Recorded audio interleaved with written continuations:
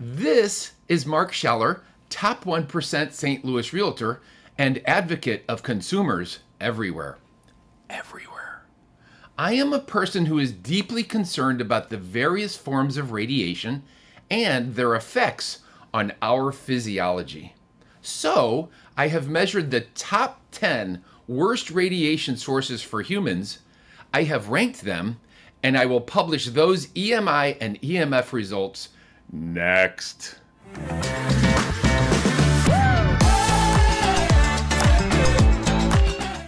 So, during our evolution over thousands of years here, we humans did not encounter much radiation, maybe some solar radiation. Until now, where various forms of radiation are all around us and it's penetrating right through our bodies every day. That is so sad. In hopes that this excessive amount of radiation is not causing damage to us at a cellular level. So today I want to share with you the detail of my field study. I have documented and measured the top 10 sources of radiation for humans.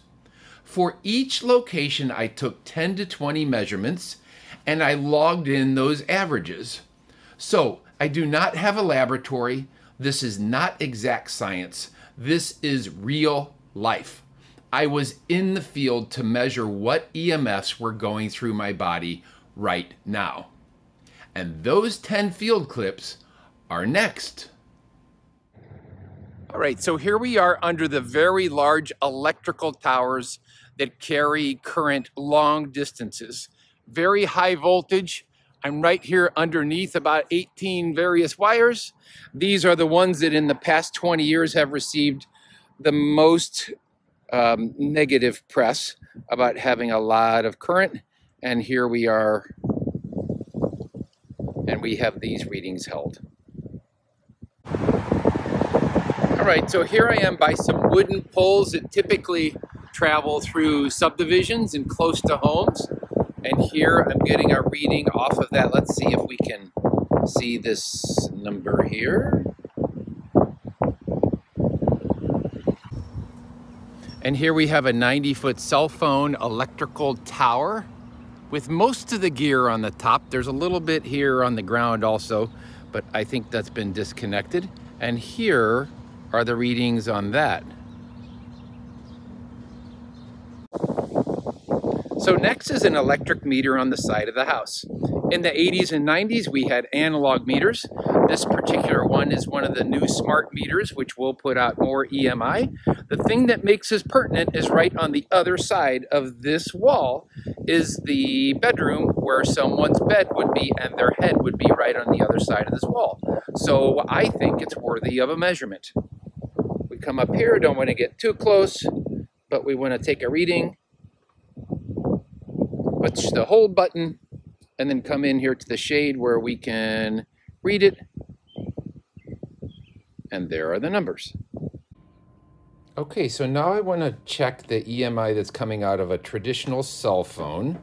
So here it is. Let's make a call.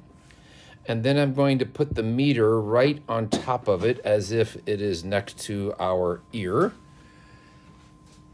which is where it belongs. And let's start the readings. Okay, here we go.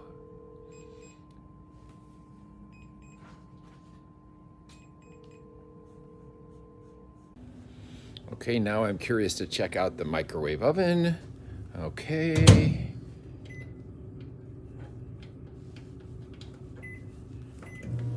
Okay, and let's put this up over here.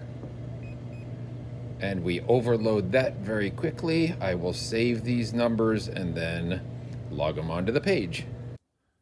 Okay, let's check out this router that's downstairs. I've got a movie going, there's some gaming going on upstairs, and I'm just curious what this thing is going to look like. Okay, we'll probably get some pretty high, there's an overload level already, and snapshot. And now here I am at the laptop computer, okay? Because we sit these right on top of our legs and by our stomachs and everything like that. So I'm gonna put this down on the computer and we're gonna get We're to get a website going here. All right, and let's just see what this dog is saying here. Pretty humble so far.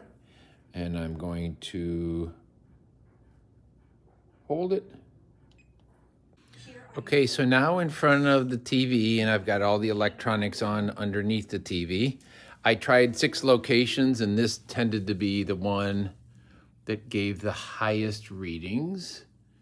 Okay, and I am going to hold it here. All right, so here I am in the car. I was curious off of the car's dashboard. There are a lot of electronics in a car, just how much EMI we might get off of it. I moved it around. It seems like the maximum is kind of right here in the middle. It's right behind the all all of these electronics. I've got the music on, but it's down, and I've got the navigation on, and it looks looks just just okay. Here I'm going to freeze this. Now here are the results. In the interest of time, let's just talk about the top five. The fifth most powerful source of radiation is cell phones right by my brain. The fourth most radioactive source is the electric meter that's on the side of my house, which is right through the wall by my bed. The third most radioactive source is those large metal transmission towers with the wires on them.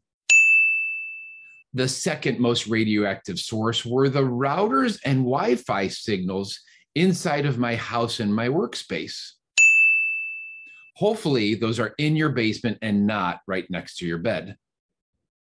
And the most radioactive source across the three spectrums is microwave ovens. So please keep those away from you while they are on. The electric meter that I used was a Tenmars TM190 multi-field EMF sensor. For magnetic radiation, I was measuring in milligauss. For the electric fields, I was measuring in volts per meter, which is pretty standardized. And for RF strength, I was measuring in milliwatts per square meter, which twice overloaded.